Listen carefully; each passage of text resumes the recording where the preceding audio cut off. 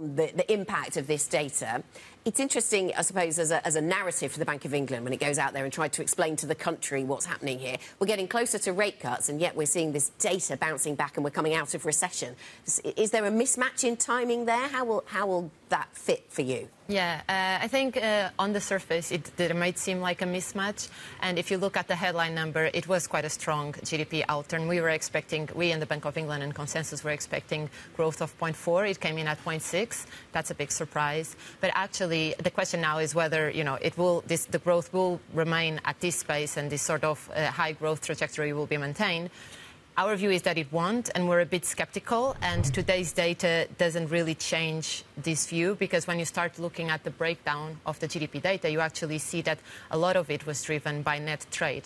Mm. And within net trade, it was a fall in imports that sort of added to growth. And when you look at domestic demand, that has only grew by 0.2%. So the, it hasn't even recovered to the pre-recession level, let's say. So in a way, when you look at the eh, components of the economy that are being affected by interest rates, that's still um, pretty subdued. So in our view, it, it we just don't think that you know okay. this is going to translate into so higher. So it isn't momentum. as strong as it might at first appear. Then this GDP print, yeah. and tell us about the, the uh, those sectors that are struggling right now, still coping with the higher interest rate environment, even as we talk about lower rates. That hasn't happened yet. Yeah, no, definitely. Uh, I think the fact we are expecting rate cuts uh, this year. We think the first rate cut from the BOE will come in June, and that will provide some relief, and there will be sort of growth drivers this year. We had the easing of financial conditions, we have the fall in energy prices, some income taxes, and that's all going to add to growth. But I think the main thing to consider still is that monetary policy will still be restrictive. So any sort of pickup on the growth that you're going to expect will be limited.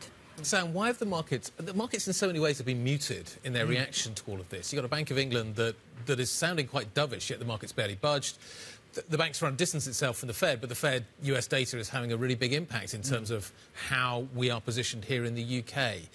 Is that something that, that when you talk to people, they're expecting to change, or is this going to is this basically something we're just going to have to, and the bank is going to have to live with? Yeah, I think this is something that the bank's going to have to. Do. I mean, actually, it's interesting. So, so you know, I, I agree with Ana. I think the markets agree with Ana as well. Yep. You know, almost nothing moved today on, on the data. So yes, the headline looked a little bit stronger. That could, you know, if you just if you're just looking at that, might raise some questions about strength of the economy and that leading into the Bank of England. But I don't think it does really. You know, I think at the moment, wages, the wage data we're going to get uh, next week, and then the inflation data we're going to get the week after that. That's where we'll really get to understand the, the Bank of England's thinking.